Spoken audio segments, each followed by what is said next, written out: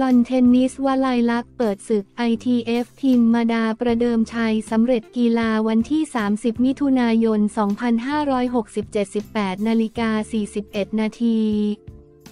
สมาคมกีฬาลอนเทนนิสแห่งประเทศไทย ในพระบรมราชูปถัมภ์ร่วมกับมหาวิทยาลัยวลัยลักษณ์จัดการแข่งขันเทนนิสนานาชาติ ITF World Tennis Tour ประจำปี 2024 เทนนิสหญิง W35 รายการ ITF World Tennis Tour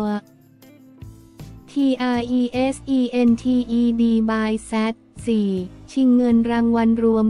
25,000 ดอลลาร์ หรือประมาณ 885,500 บาท และเทนนิสชาย M15 รายการ ITF World Tour M4 ชิงเงินรางวัลรวม 15,000 ดอลลาร์ หรือประมาณ 531,300 บาท รวม 2 รายการอยู่ที่ 1,416,800 บาท ที่สนามเทนนิสสนามกีฬากลางตุมปังมอวลัยลักษณ์จังหวัดนครศรีธรรมราช และได้เปิดฉากวันแรกเมื่อวันที่ 30 มิถุนายน 2567 ด้วยการแข่งขันรอบคัดเลือกเพื่อหานักกีฬาชาย 6 คนและหญิง 6 คนผ่านเข้ารอบ main draw ระหว่างวันที่ 2-7 กรกฎาคม 2,567 คู่ที่น่าสนใจประเภทหญิงเดี่ยวรอบคัดเลือกรอบแรกพิมมาดาลิมนักเทนนิสเยาวชนจากไทยลูกครึ่งไทยสิงคโปร์อายุ 17 ปีที่ยังไม่มีอันดับโลกพบกับเจมมาคาบิสนักเทนนิสจากออสเตรเลียอายุ 22 ปีมือ 950 ITF แรงกิ้งผลการแข่งขันปรากฏว่าพิมมาดาใช้ความมั่นใจหวดสู้และทำผลงานออกมาได้ดี กระทั่งคว้าชัยได้ 2 เซตรวด 6-4 และ 6-3 ในเวลา 1 ชั่วโมง 41 นาทีพิมมาดา ผ่านเข้ารอบคัดเลือกรอบ 2 หรือรอบสุดท้าย ไปพบกับจางกาอึนมือวางอันดับหนึ่งของรอบคัดเลือกจากเกาหลีใต้ทางด้านประเภทชายเดี่ยวปูนทองโกมลพิสุทธิ์นักเทนนิสไทยวัย 19 ปีมือ 1,894 ITF Ranking และเป็นมือวางอันดับ 16 ของรอบคัดเลือกควงแร็กเก็ตคู่ใจผ่านเข้ารอบต่อไปได้สำเร็จ หลังจากหวดรอบคัดเลือกรอบแรกเอาชนะซูเฉินหยางจากไต้หวัน 2-0 เซต 6-1 และ 6-3 โดยปูนทองจะลงสนามหวดรอบคัดเลือกรอบ2ซึ่งถือเป็นรอบสุดท้ายจะพบกับซินซังบีนหนุ่มเกาหลีใต้มือวางอันดับ 6 และมือ 1,591 ITF Ranking ที่หวดชนะชนนภูลสวัสดิ์ของไทย 2-0 เซต 6-1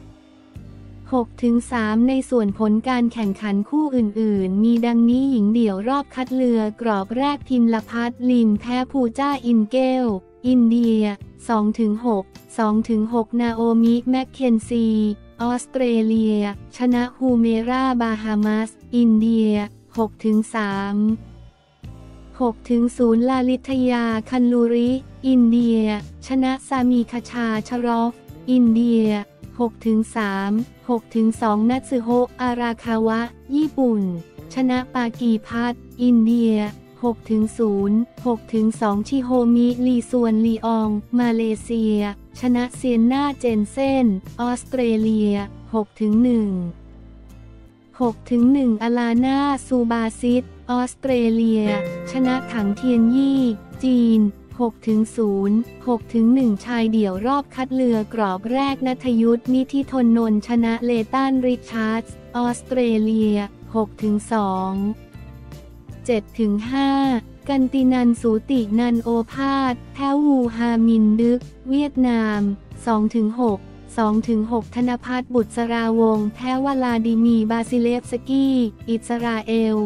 4-6 4-6 วิทวินสิงหาการแพ้กาบอฮอนุง ฮังการี 0-6 0-6 ฟินลี่ ฮอลล์ นิวซีแลนด์ ชนะวัเซโว ลอดเปอร์เมีย คอป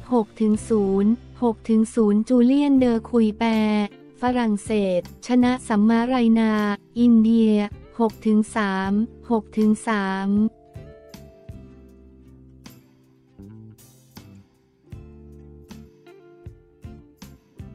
นายกรัฐมนตรีน้อมรับผลเลือกสัว ชี้กติกาถูกเซตมาแล้วแนะต้องให้สสรสภาแก้ไขปรับปรุงการเมืองวันที่ 30 มิถุนายน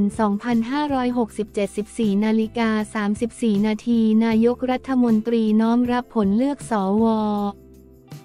ชี้กติกาถูกเซตมาแล้วแนะ ใครเห็นช่องโหว่ควรปรับปรุง ต้องตั้งสสรแก้ในสภามอง สมชาย ตกรอบไม่เชื่อมโยงความนิยมเพื่อไทยเมื่อเวลา 11นาฬิกา15 นาทีวันที่ 30 มิถุนายน ที่โรงเรียนรัตนบุรี ตำบลรัตนบุรี อำเภอรัตนบุรี จังหวัดสุรินทร์ นายเศรษฐาทวีสิน นายกรัฐมนตรีให้สัมภาษณ์ถึงผลการเลือกสว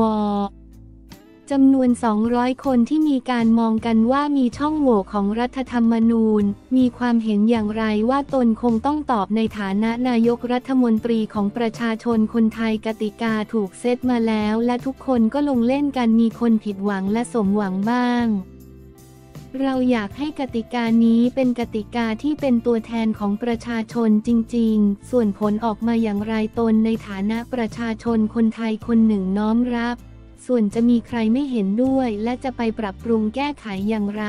ก็ต้องไปแก้ที่สภาร่างรัฐธรรมนูญ สสร และเข้าไปในสภาเพื่อจะแก้ไขเมื่อถามว่าการพ่ายแพ้ของนายสมชาย วงศสวัสดิ์อดีตนายกรัฐมนตรีถูกเชื่อมโยงไปถึงคะแนนความนิยมของพรรคเพื่อไทยด้วย นายเศรษฐากล่าวว่าตนเข้าใจว่าความเชื่อมโยงมีแค่คำของความเป็นเครือญาติ แต่ความเชื่อมโยงระหว่างพักกับตัวบุคคลผู้สมัครไม่มีความเชื่อมโยงกัน เมื่อถามว่ามั่นใจในคะแนนนิยมของพรรคเพื่อไทยใช่หรือไม่ นายเศรษฐากล่าวว่า ผมไม่มั่นใจอะไรทั้งสิ้น เพราะตื่นเช้ามาก็ทำงานทุกวันและผลโพก็เป็นส่วนหนึ่งที่ทำให้เราสามารถมั่นใจหรือไม่มั่นใจ วันนี้ผลโพก็ยังไม่ดีพอเราก็ยังไม่มั่นใจความไม่มั่นใจไม่ได้เป็นสิ่งที่ไม่ดี แต่เป็นสิ่งที่เตือนสติให้เราทำงานหนักขึ้น เราต้องพยายามที่จะหามาให้ได้ว่า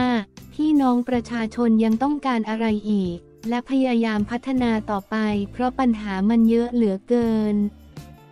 เมื่อถามว่าเสียงติติงอันประเสริฐยังเป็นเสียงของประชาชนใช่หรือไม่ นายเศรษฐากล่าวว่ายืนยันมาโดยตลอดวันแรกที่เข้ามาสู่ตำแหน่งนายกรัฐมนตรี หรือวันสุดท้าย ครบ 4 ปีเรามาอยู่ที่นี่เรามาทำงานเพื่อประชาชน เช่นเดียวกับสอสอที่ยืนอยู่ข้างหลังตนเป็นตัวแทนพี่น้องประชาชน หลังไม้หลังการประชุมเขาก็บอกตลอดว่าประชาชนต้องการอะไร ขณะหน้าที่ของตนก็ต้อง balance ระหว่างเงินที่ลงไปกับผลประโยชน์ที่จะได้กับประชาชนกับจำนวนเงินที่มีอยู่ในงบประมาณ ไม่ว่าจะเป็นสอสอพักไหนก็ตามเวลามาหาตนก็มาพูดถึงพี่น้องประชาชนตลอด ฉะนั้น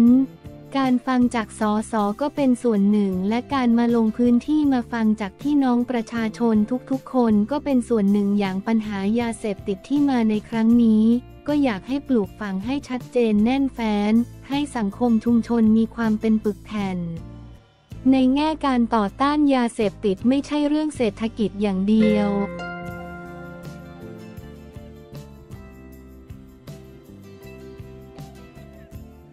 ยอดนาทีควงเป็กทยานเข้าชิงชนะเลิศศึกมวยรอบปูนเสือมวยไทยพันแท้กีฬาวันที่ 30 มิถุนายน 2567 18นาฬิกา 10 นาทีเมื่อวันอาทิตย์ที่วันที่ 30 มิถุนายน 2567 ศึกมวยรอบปูนเสือมวยไทยพันแท้ครั้งที่ 23 รอบรองชนะเลิศที่เวทีมวยช่อง 7 HD ที่ผ่านมาโดยก่อนชกนายจำลองคำช่างผู้บริหาร TQC Concrete TQC Concrete พร้อมด้วยนายธนรนเหลืองไพฑูรย์ผู้บริหาร TQC Concrete TQC Concrete ให้เกียรติขึ้นคล้องพวงมาลัยเพื่อเป็นขวัญและกำลังใจให้กับนักมวยทั้งสองคู่บนเวที ระหว่างยอดนาทีพดุงชัยมวยไทยยิมแดง พบกับ โชคพิชิตโชดบางแสน น้ำเงิน พิกัด 113 ปอนด์และนิติกรสวนน้ำทานคีรี